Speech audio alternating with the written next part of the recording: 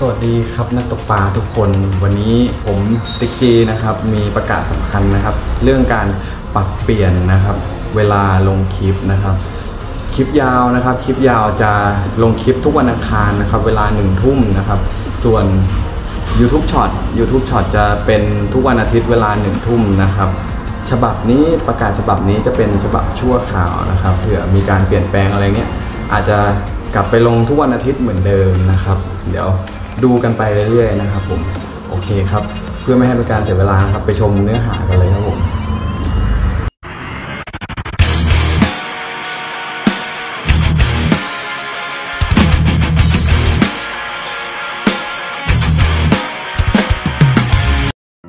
อะสัปดาห์นี้เรามารีวิวลอกภาคสนามนะครับ ลอก ATD ที่ รีวิว part แรกค้างไว้ตั้งแต่สัปดาห์ที่แล้วนะครับ วันนี้เราได้ความอนุเคราะห์จากครัวป้าแอ๋นี่นะครับ ครัวป้าแอ๋พอดีขออนุญาตเข้ามา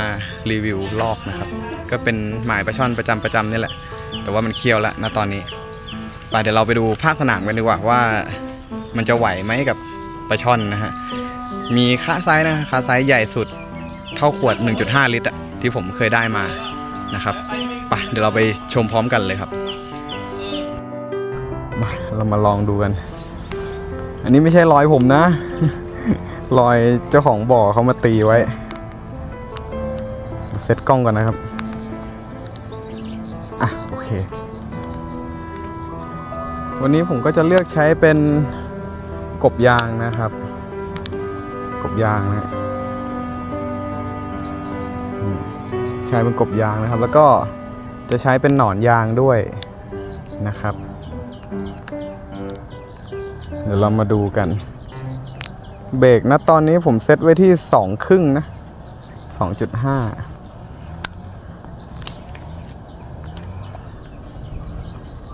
หมายแรกกระฟูเลยนะ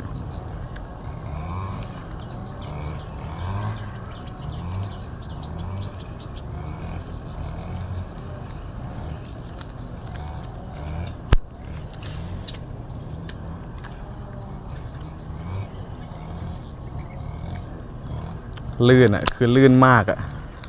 ลื่นจัดๆอะ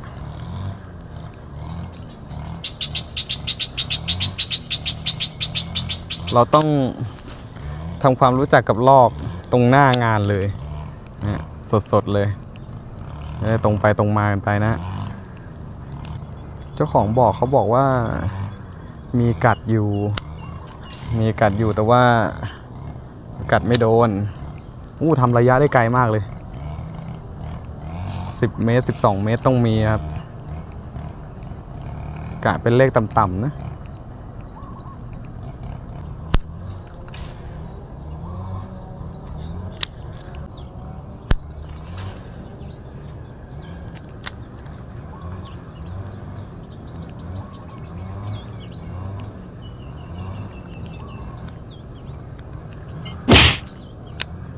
ปลาแว้นนะ ไม่รู้ในกล้องเห็นหรือเปล่า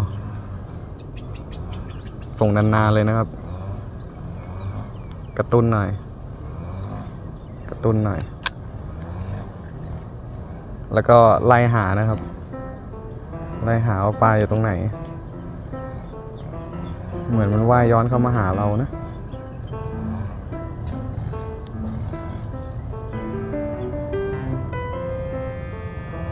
เผลอๆน่าจะคายแล้ว ปลาแว้นนะกัดเหยื่อไม่เข้า เหยื่อก็ประมาณ 3.5 เซนนะ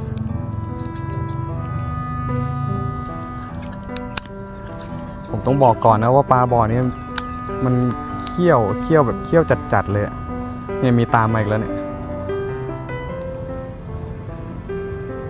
ตามมาเป็นคลื่นเลย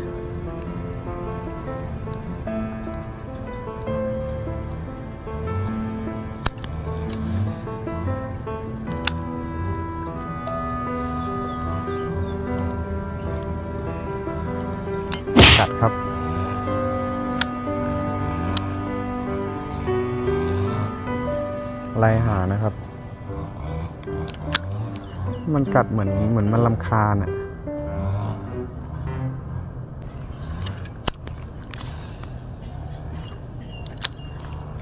ทำระยะได้ดีนะครับ ดีมาก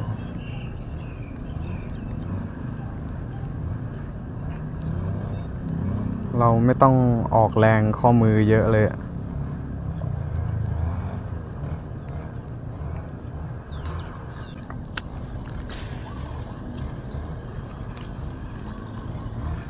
ลื่นนะลื่นมาก เทคนิคการกอกบยางในในหมายที่มีแหนแบบเนี้ย ผมก็จะเขย่าปลายคันไปด้วยนะครับ เพื่อให้เกิดเสียง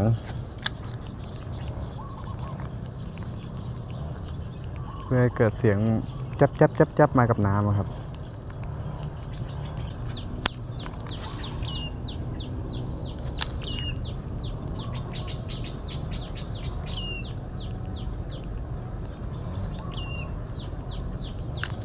กัดนะครับ กัดเบาๆ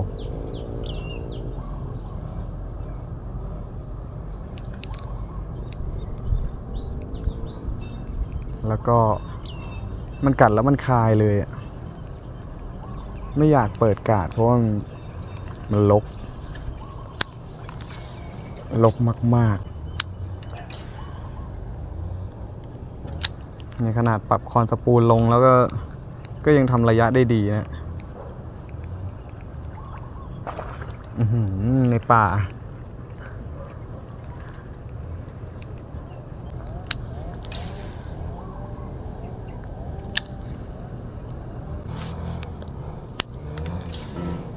ตอนนี้ผมก็ใช้เป็นเหยื่อ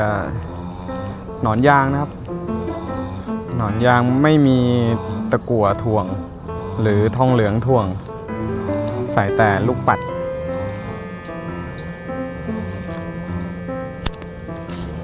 ราะว่าต้องการให้มันอยู่ข้างบนแหนไว้ โหตีไม่ได้เลย ลื่นลื่นมากๆ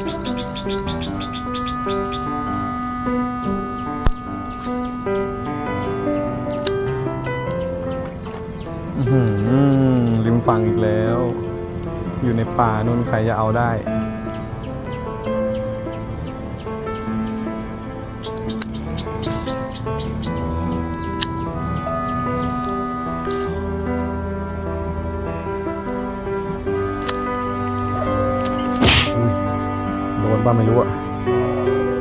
เปล่าไม่รู้อะกำลังเมื่อเมื่อๆเลยกำลังโม้เลย แต่สายวิ่งนะอื้อหือกัดใกล้กัดใกล้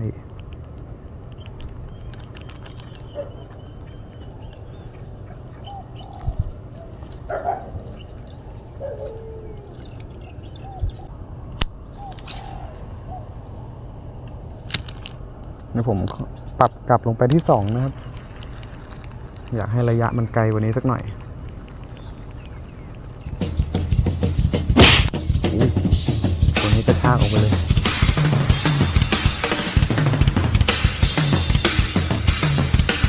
ตัวนี้มีผลงานแน่นอน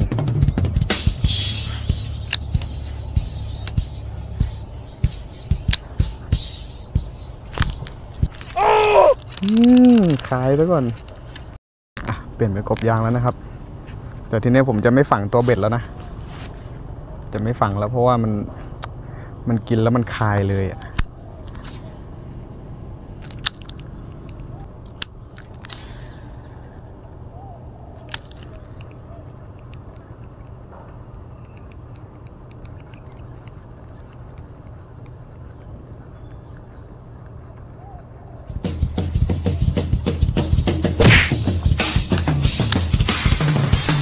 โดนครับส่งไปตรงนานแต้มแรกของเรามาแล้ว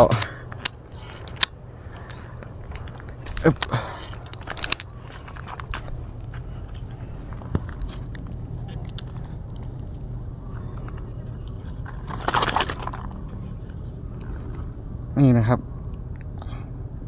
ผลงานลอก ATD นะครับ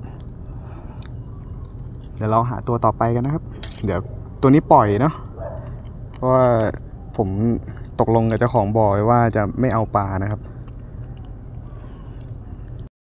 อะมาหาตัวกันต่อครับ ก็ยังคงไม่ฝังตะขอเบ็ดนะครับ มันเคี่ยวเกินไปจริง ๆ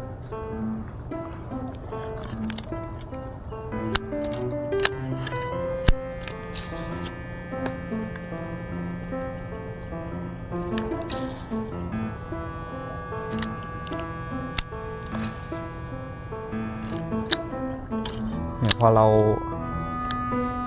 ไม่แปะ เอ้ยไม่ฝังตะขอ มันก็จะคอยจะบิดอยู่เรื่อยกบยาง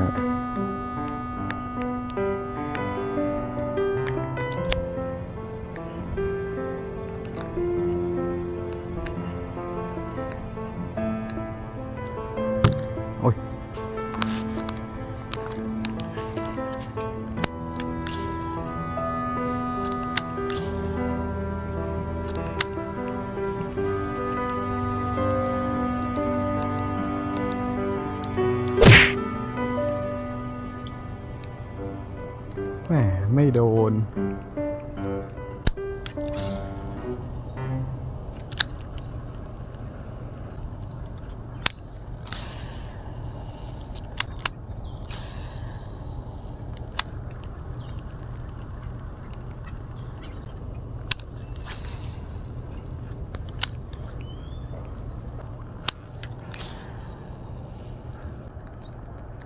รู้สึกจุดนี้จะเป็นจุดที่แหน่บางที่สุดละ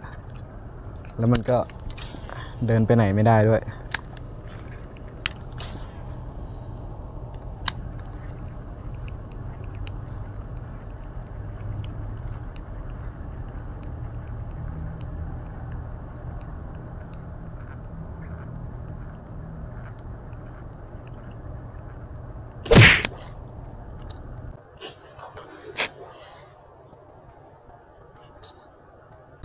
กินคามือเลยครับ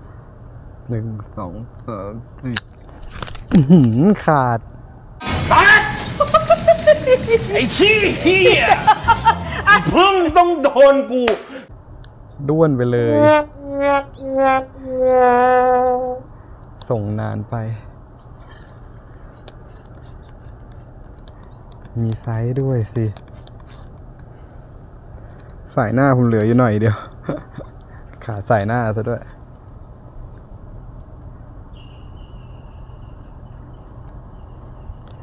ไม่เป็นไรครับ เดี๋ยวหาตัวกันต่อนะครับ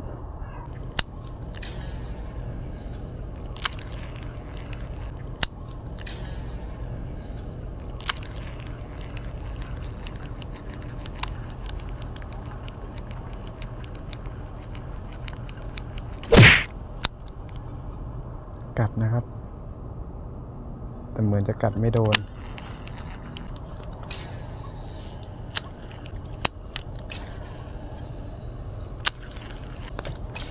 อือหือในป่า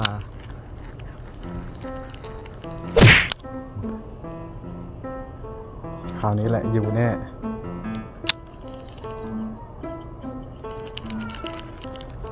แหม่เว้ย A few moments later. กลับมาว่ากันต่อนะครับ หลังจากที่เอาลงไปลงภาคสนามมาแล้วนะครับ ไปลงสนามจริงมาแล้ว ก็ได้เห็นปัญหาหลาย ๆ อย่างนะครับ เอาเอาข้อดีก่อนไหมข้อดีคือสามารถคอนโทรลเหยื่อได้ตามใจนึกนะครับ ตอนที่ผมลงสนามอะ่ะ ผมปรับหน่วงอยู่ที่ระดับ 2 อย่างนี้นะครับ ปรับหน่วงอยู่ที่ระดับ 2 เพราะว่าเผื่ออยากตีไกลเผื่ออยากแบบต้องการรวดเร็วครับ อันนี้ทำได้ดีมาก ยอมรับ แล้วก็ข้อเสียข้อเสียคือแป้นกดอะแป้นกดอะมันเหมือนกับว่า ผมก็อธิบายไม่ถูกนะ ไม่รู้เอ็มพูดไว้หรือเปล่า คือมันเดี๋ยวแข็งเดี๋ยวอ่อนอะ เดี๋ยวแข็งเดี๋ยวอ่อนถามว่ามีผลต่อการใช้งานไหมไม่มีสัทีเดียวนะเพียงแต่ว่ามันจะไม่คุ้นมือหน่อยเท่านั้นเอง มันจะรู้สึกว่าเอาเฮ้ยลอกกูเป็นไรวะอะไรอย่างเงี้ยประมาณนั้นนะครับ ส่วนลอกตัวนี้จะเหมาะกับใครผมแนะนำว่าเหมาะกับมือใหม่นะครับ มือใหม่เพิ่งหัดตีเบสอะไรอย่างเงี้ยกะว่าพังก็ไม่เสียดายประมาณนั้นนะครับ แล้วก็เหมาะกับท่านที่ อยากซื้อมาใช้รอไปก่อน เพื่อจะซื้อตัวใหม่นะครับ อย่างผมเนี่ยซื้อมาเพื่อจะรอลอกตัวใหม่นะครับ ซื้อมาใช้ไปก่อน แล้วตัวเนี้ยถ้ามันยังไม่พังเดี๋ยวผมจะเอาไว้ให้แฟนผมใช้นะครับแฟนผมก็ตกปลาเหมือนกันนะครับ แล้วก็อย่าลืมนะครับ อย่าลืมกดติดตามกด subscribe ไว้ให้ด้วยนะครับ คอมเมนต์แค่เข้ามาคอมเมนต์ผมก็ดีใจแล้วอะ่ะ อืม นะครับ ขอบคุณนะครับทุกคนที่เข้ามาติดตามเข้ามารับชมนะครับ ไว้เจอกันคลิปต่อไปครับ บ๊ายบายครับ